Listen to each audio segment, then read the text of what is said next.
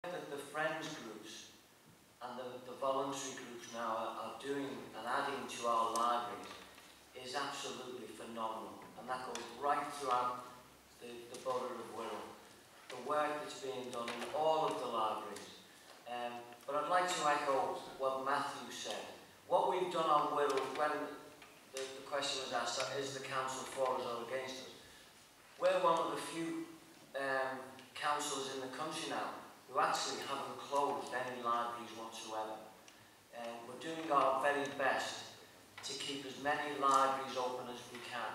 But having said that, and I'll give an honest answer, I always try and, and be honest. We've got 24 libraries on Wirral,